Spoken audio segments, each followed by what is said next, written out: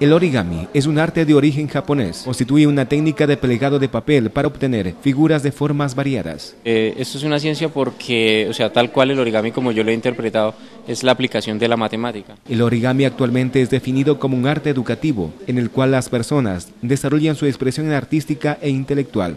En conclusión, se aplican conceptos matemáticos. Eh, y hay un completo desarrollo sobre matemáticas que han hecho en diferentes universidades del mundo como en el MIT, en Estados Unidos, en California. La NASA trabaja haciendo unos satélites a base de origami.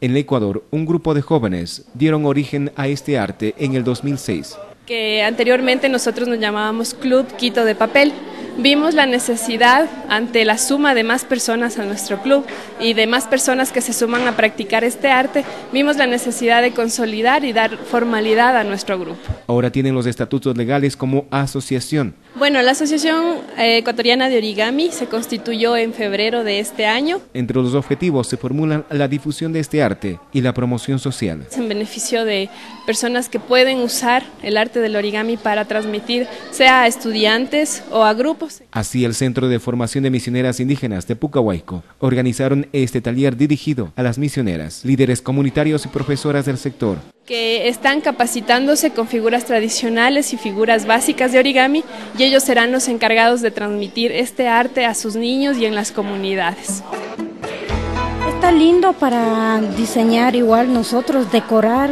nuestro hogar, así, aprender, hacer aprender a los niños también. Ya que nosotros como trabajamos con niños, podemos a ellos enseñarles y mediante esto desarrollar las motricidades de los niños.